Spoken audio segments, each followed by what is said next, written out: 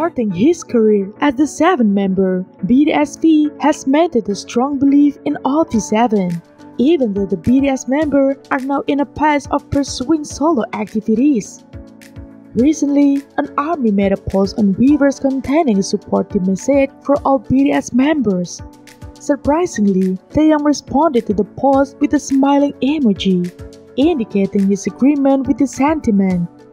This hurtful exchange touched the fans and reminded them of the moment when Taehyung served as a DJ on the Starry Night radio show with Park Hyo-shin. During the show, Hyo-shin referred to the people waiting outside as Taehyung's fans, but he quickly corrected him, stating that they were ARMY.